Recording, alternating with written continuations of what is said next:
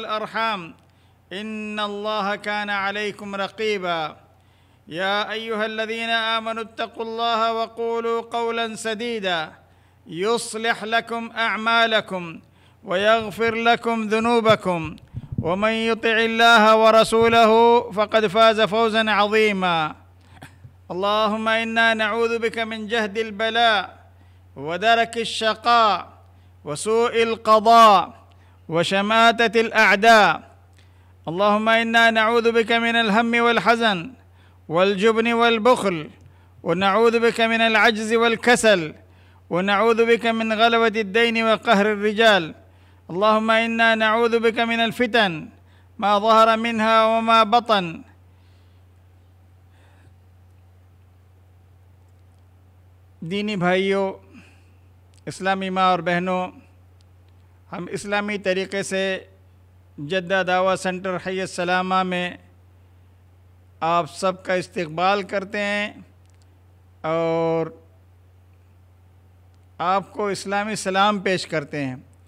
असलकुम वरहमतुल्लाहि व बरकातुहू और साथ ही साथ आपके लिए हमारी नेक तमन्नाएँ, पुरखलूस दुआएँ हैं कि अल्लाह आपके दीन और ईमान को महफूज रखे आपको सेहत व आफ़ियत से रखे, आपको अपने हिफ्ज़ अमान में रखे और आपको दुनिया में भी इज़्ज़त बख्शे, आखिरत में भी जन्नत नसीब फरमाए। दीनी भाइयों, आज से हमारे किताब सही बुखारी के किताबुलफ़ितन की शरह का आगाज़ होने जा रहा है। इमाम बुखारी रहमतुल्लाह अलैह ने किताबुलफ़ितन में 101 अहादीस को जमा फरमाया है, जिनमें इक्यासी हदीसें एटी वन हदीसें मुकर्र हैं। बार बार सही बुखारी में, इमाम बुखारी ने उनको मुख्तलिफ़ अबवाब और मुख्तलिफ़ किताबों में ज़िक्र किया है। सिर्फ़ इक्कीस हदीसें गैर मुकर्र और ख़ालिस हैं। और मरफू हादिस के अलावा साहब कराम के ताबीन निज़ाम से पंद्रह आसार भी उन्होंने किताबुलफ़ितन में पेश किए हैं और किताबुलफ़ितन की अहादीस पर अट्ठाईस अबवाब यानि अनावीन कायम किए हैं। इमाम बुखारी ने इन अनावीन के ज़रिए से उम्मत को फ़ितनों के इसबाब उनसे बचाव की तदबीरों के आ, को बयान किया है। चलिए किताबुलफ़ितन का आगाज़ करते हैं। बाब नंबर एक। और इसमें इमाम बुखारी अलैह ने बाब कायम किया है। बाब मज़ा अफ़ी कौल ताला वत्तको फ़ितनतन ला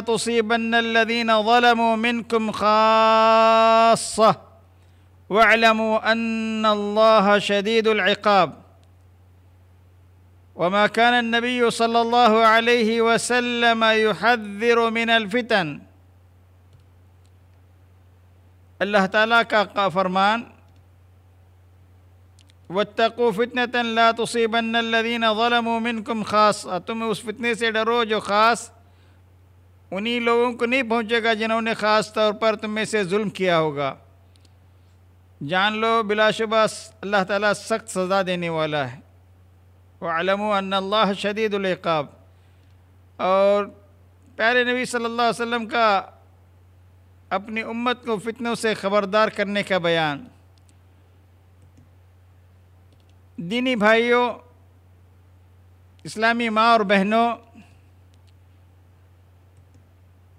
आपको इस बात का इल्म होगा कि इमाम बुखारी रहमतुल्लाह के रहमतुल्लाह अलैह की आदत मुबारक है कि जब भी वो कोई बाब कायम करते हैं, सही सही बुखारी के किसी भी किताब में तो सबसे पहले कुरान मजीद की किसी आयत, एक या दो आयतों का इंतखब करके, उन आयतों का एक मुख्तसर सा हिस्सा जो उनके अपने मुराद के लिए ज़रूरी होता है किताबुलफ़ितन से मुतक़ होता है, उसको ज़िक्र करते हैं। फिर प्यारे नबी सल्लल्लाहु अलैहि वसल्लम के अहादीस बयान करते हैं अपनी सनत के साथ। तो सबसे पहले सुर अनफाल की आयत नंबर 25 उन्होंने कोड की है। उसकी वजाहत के तौर पर कहते हैं वतको फितनतन। इस्लाम में फ़ितने का मफहम और तस्वूर ये है, फितना से मुराद ऐसी आजमाइश होती है जिसका इंसान को पता भी ना चले और वो अंदर ही अंदर अपना काम किए जा रही हो।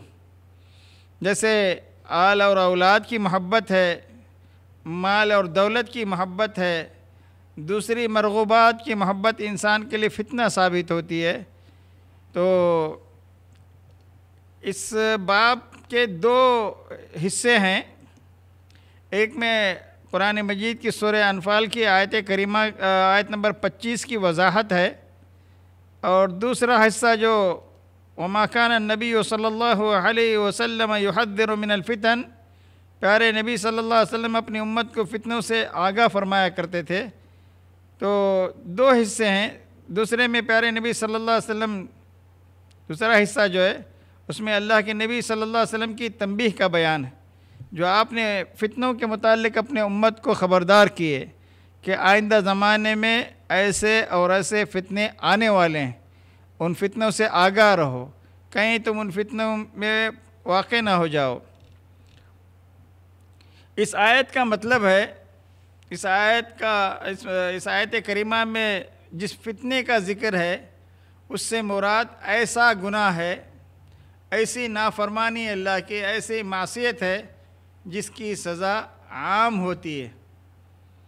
वो सिर्फ़ नाफरमानी में मुबतला होने वाले ही को ले नहीं डूबती, बल्कि वो उसकी सज़ा आम होती है, सबको ले कर डूबती है। मिसाल के तौर पर, किसी माशरे में जब कोई बुराई पैदा होती है, कोई शर जन्म लेता है लोग उसका बर वक्त नोटिस नहीं लेते, लोगों को उसके शर और बुराई, उस शर के बुराई से मना नहीं करते तो नतीजे में उसका नतीजा ही निकलता है कि वो बुराई माशरे में फैलती जाती है। तो ऐसी बुराई के पादाश में अल्लाह ताला की तरफ़ से जब कोई अजाब आता है तो वो सारे लोगों को अपने लपेट में ले लेता है। ये नहीं हो सकता कि जो लोग बुराई नहीं करते थे वो बच जाएँ, क्योंकि उन लोगों का जुर्म होता है कि जब वो बुराई पैदा हुई या बढ़ने लगी थी, उस वक्त उन्होंने उसे रोकने की कोशिश नहीं की। उसको रोकने के लिए कोई इकदाम नहीं किया, कोई अमली कदम नहीं उठाया।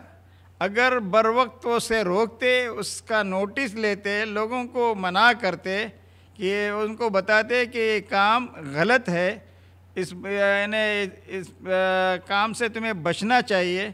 तो सब लोग अजाब से बच सकते थे। चुनानच अल्लाह ताला ने सुर मायदा में बनु इसराइल पर लानत करने, उन्हें अपनी रहमत से दूर करने का एक सबब, अमर बिल मारूफ और नहीं अनिल मुनकर के फरीज़े को अंजाम न देना बताया है।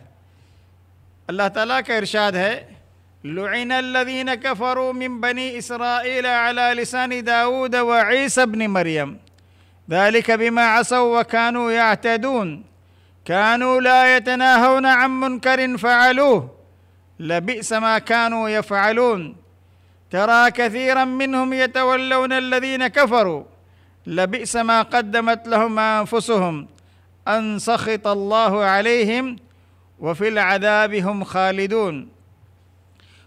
वो लोग जिन्होंने बनु इसराइल में से कुफर किया उन पर दाऊद अलैहिस्सलाम और ईसा अलैहिस्सलाम, ईसा बिन मरियम की ज़ुबान पर लानत की गई है।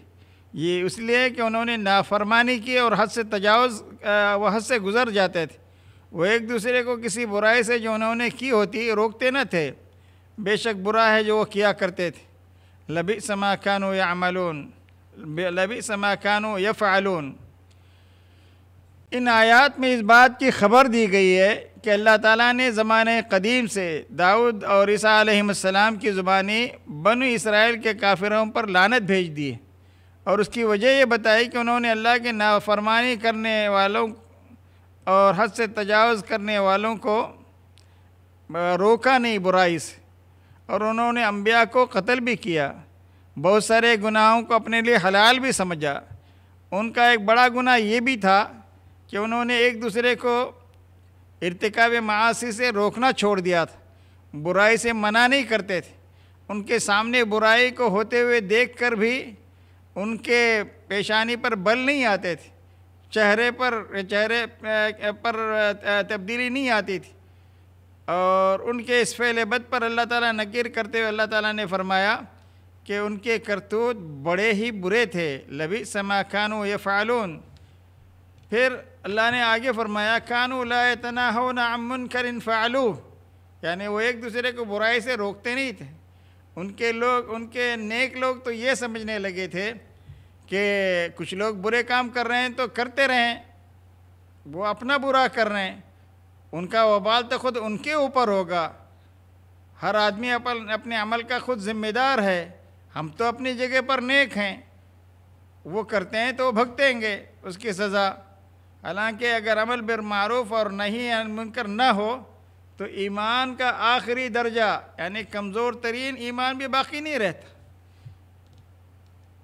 चुनानचे सही मुस्लिम में एक रिवायत इस तरह से आई हुई है। हज़रत अबू सईद खुदरी कहते हैं, अन अबी सईद खुदरी रदी अल्लाह अनहु रसूल अल्लाह सल्लल्लाहु अलैहि वसल्लम यक़ूल, मन रआ मिनकुम मुनकरन। फलयुगयिरहु बियदिhi फ़ैन लम यस्ततिअ फ़बिलिसानिह फ़ैन लम यस्ततिअ फ़बिक़ल्बिह वदालिक अज़अफ़ुल ईमान हज़रत अबू सईद खुदरी बयान करते हैं कि रसूलुल्लाह सल्लल्लाहु अलैहि वसल्लम ने फरमाया कि तुम में से जो शख्स कोई बुराई देखे तो उसे हाथ से मिटाए हाथ से रोके अगर हाथ से रोकने की इस्तात न हो तो ज़ुबान से समझाए उसकी भी साथ, यानी ताकत ना हो तो दिल से, दिल में तो कम से कम बुरा समझे। और ईमान का सबसे कमज़ोर तरीन दर्जा है। तिरमिज़ी की एक और रिवायत में हज़रत हुजैफ़ा बिन अलयमान से रिवायत है, अन हुदैफ़त बिन अलयमान, अन नबी सल्लल्लाहु अलैहि वसल्लम, क़ाल वल्लदी नफ्सी बियदिह, लतअमुरुन्न बिलमअरूफ वलतनहउन्न अनिल मुनकर।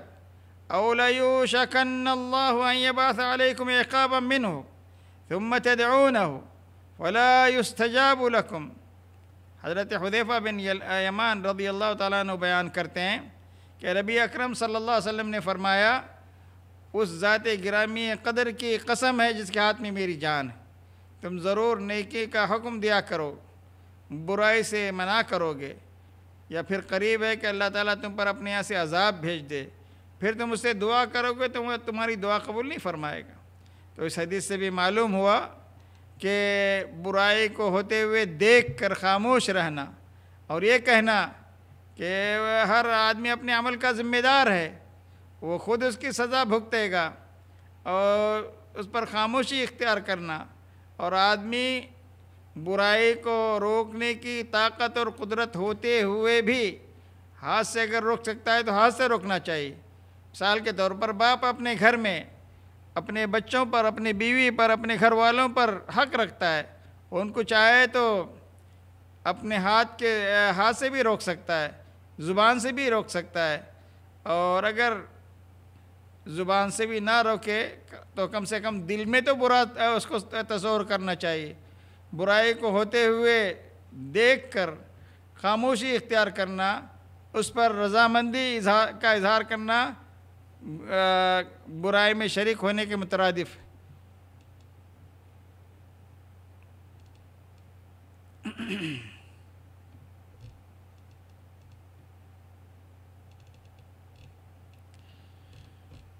सुनन इब्ने माजा में एक रिवायत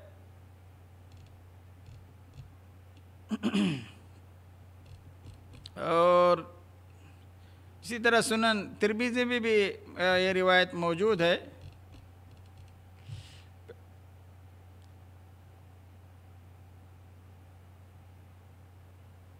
अन अबी उमैत शाबानी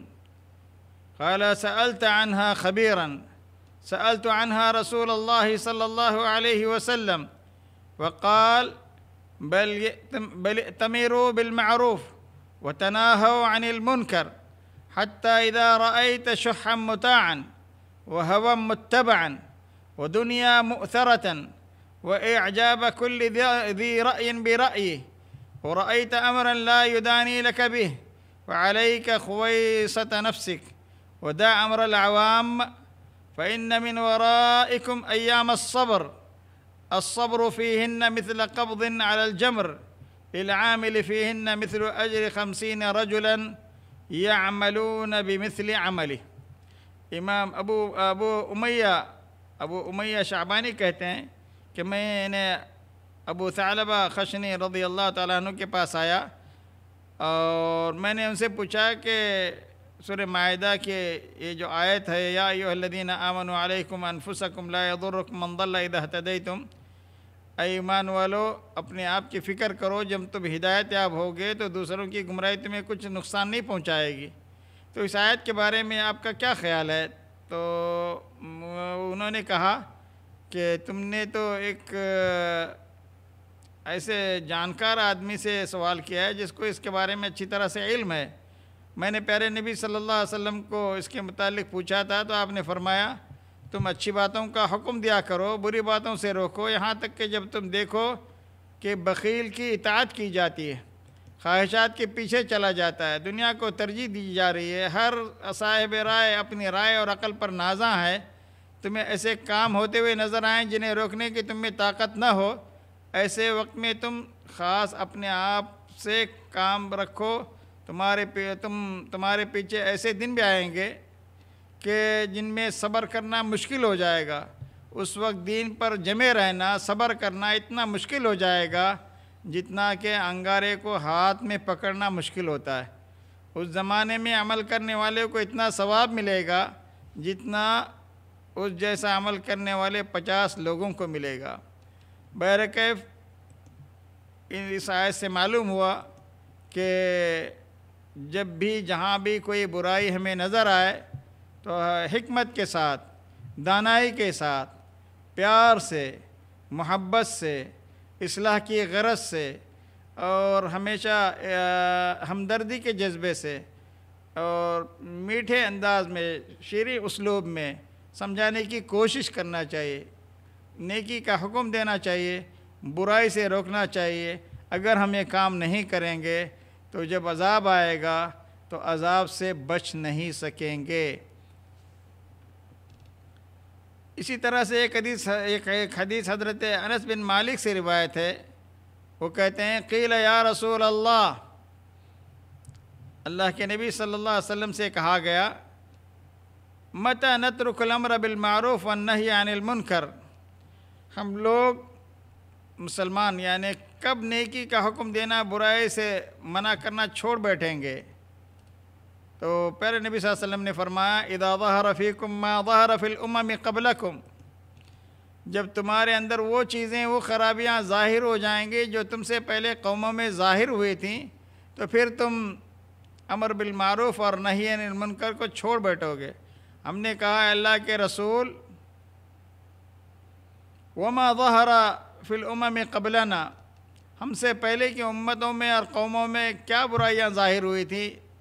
जब उन्होंने नेकी का हुक्म देना छोड़ दिया था, बुराई इसे रोकना छोड़ दिया था तो अल्लाह के नबी सल्लल्लाहु अलैहि वसल्लम ने फरमाया, जब हुकूमत कम उम्र या बचकाना जहन रखने वाले अफराद में, अफराद के हाथों में आ जाएगी, बेहयाई बड़ों में यानी जवान तो बदकारी में मुलवस होंगे ही होंगे बूढ़े लोग भी उस बुराइयों से बाज नहीं आएँगे। और इल्म तुम्हारे जलील लोगों में बद किरदार और फासिक लोग तो इल्म हासिल करेंगे लेकिन उन पर उस, उस इल्म पर अमल नहीं करेंगे। यानि बदअमली और बेअमली का तूफ़ान बदतमीज़ आम हो जाएगा। और इल्म हर जलील और फासिक लोग हर कस्म के जलील और फासिक लोग भी हासिल करके मेंबरों की जीनत बने रहेंगे। और चीख चीख कर, चिल्ला कर बोलने वाले को ही लोग आलिम समझ बैठेंगे। एक बात हमेशा याद रखिए, हर चीख कर, चिल्ला कर, बुलंद आवाज़ से बोलने वाला मुकर्र आलिम नहीं हुआ करता। और हर आहिस्ता, संजीदगी के साथ बोलने वाला कोई जाहिल नहीं हुआ करता। तो इल्म का मैार ये है, आलिम किताब व सुन्नत का गहरा इल्म रखने वाला और उन पर अमल करने वाला ही आलिम है। तो इस हदीस से मालूम हुआ और यह हदीस इमाम अबू, इबन माजा ने किताबुलफ़ितन में इसको ज़िक्र किया है। इस हदीस के, इस हदीस के ताल्लुक़ से शेख ज़ुबैर अली जई ने इस हदीस को ज़यीफ़ करार दिया है, लेकिन महक्कीन ने, दूसरे महक्कीन ने शवाहद की बिना पर उसको हसन करार दिया है। शेख अलबानी ने भी इस हदीस पर तफसीला बहस करते हुए इसे शवाहद की बिना पर हसन करार दिया है और उन्हीं की राय अकरब सवाब मालूम होती है। बहरकैफ़, मालूम हुआ कि इंसान को ऐसी ज़िम्मेदारी उठाने से इज्तनाब करना चाहिए जिसकी उसके अंदर सलाहियत न हो। क्योंकि जो लोग तवक़ात रखते हैं, वो पूरी नहीं हो पाती। ज़िम्मेदारी उठाने वाले को कसरवा समझते हैं। इस तरह उनकी इज़्ज़त खा खा कम हो जाती है। फिर बाज़ मस्जिद, मदरसा, रिफाई, अंजुमन के इंतज़ामी मामला अपने हाथ में रखना चाहते हैं। हालाँकि उनके में इल्मी काबिलियत होती है। इल्मी सलाहियत तो होती है, इंतज़ामी काबिलियत और सलाहियत नहीं होती। बाज़ अवक़ात ख़ुद मस्जिद, मदरसा या रफ़ाई अंजुमन के ने तस्वर कर लेते हैं, फ़लाँ शख्स तो बड़ा आलिम है, लिहाजा इंतज़ाम अच्छे तरीके से चला पाएगा। ऐसी सूरत में इंसान को ऐसी ज़िम्मेदारी नहीं उठाना चाहिए, जिसके बारे में उसे यकीन हो कि उसका निभाना उसके हाथ, उसको मुश्किल है। जिसके पास उसका कोई सबका तजर्बा ना हो, उस काम को अपने ज़िम्मे नहीं लेना चाहिए। तो अज़ीज़ साथियों, दीनी भाइयों, इमाम बुखारी रहमत ने किताबुल का ये जो बाब कायम किया है, बाब कौल ताला वतक़ु फ़ितनतन ला तुसीबन्नल्लज़ीन ज़लमू मिनकुम ख़ासतन तो इस आयत को और प्यारे नबी सल्लल्लाहु अलैहि वसल्लम व मकान नबी सल्लल्लाहु अलैहि वसल्लम युहद्दरु मिनल फ़ितन तो इस बाब की वजाहत आपने सुन ली है और इन शज़ीज़ अगले दुरुस्त में सही बुखारी की हदीस नंबर सात हज़ार अठानवे और इसी तरीके से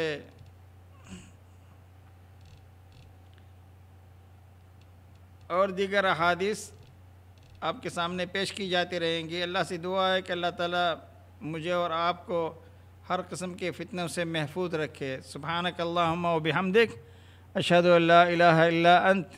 अस्तफ़िर व अतूबु इलैक।